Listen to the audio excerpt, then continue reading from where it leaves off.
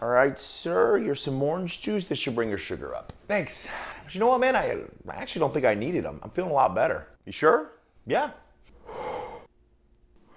I think he might need it a lot more than I did. Dude. Yeah, I think my uh, my sugar might be a little bit low. You mind?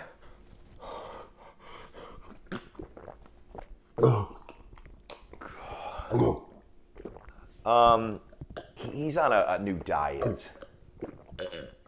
Yeah, he might not want to be on that anymore. Probably not. Do you have any more orange juice?